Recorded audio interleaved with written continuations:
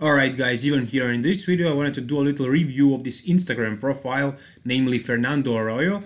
And what is he doing is he's basically posting a comparison of two bodybuilders and he's posting a poll on his story on Instagram profile so you can click and choose who would you like to see win between these two guys. So you can see here you have Kai Greene versus Dallas McCarver, rest in peace. You have Milan Sadek with Sasan Heirati.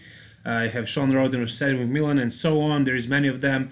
Uh, of course, later you can see the result, and there is a base of 50,000 people. A lot of pro bodybuilders are also following him. We can also suggest in his comment section he will choose uh, some of the best comparison. Uh, for example, I recommended to try Boston Loyd and Matt Jensen because I know that these guys had some beef in the past and it caused a lot of traction on Instagram, so that was pretty fun. And he's posting very frequently, or should I say frequently enough, and I got addicted, I can tell you that, I can't wait to vote again. That's pretty much it for this video guys, if you enjoyed it, like the video, if you want to say something, say in the comment section below, and subscribe if you want to see more, I'm posting videos every single day, sometimes more than even one video.